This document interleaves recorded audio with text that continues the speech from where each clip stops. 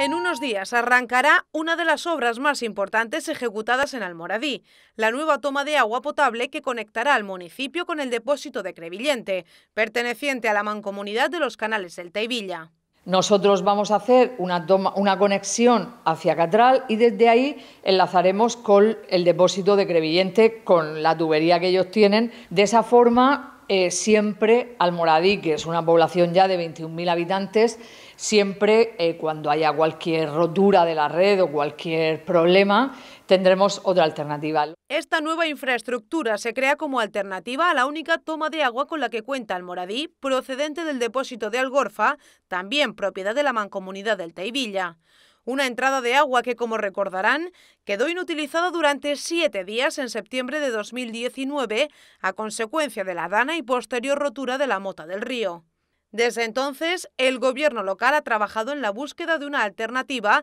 que dote al municipio de otra conexión de agua que garantice el suministro frente a situaciones de emergencia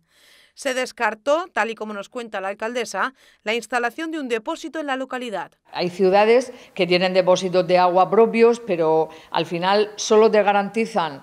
eh, la cobertura de un día o dos días máximo de, agua para toda, la, para toda la ciudad y luego además por, por la propia orografía del municipio eh, habría que impulsar el agua y era más costoso. En concreto, esta nueva conexión se unirá al ramal de Catral, con quien se ha suscrito un acuerdo que recoge, entre otros puntos, que Almoradí se ocupará de mantener esta tubería en perfecto estado.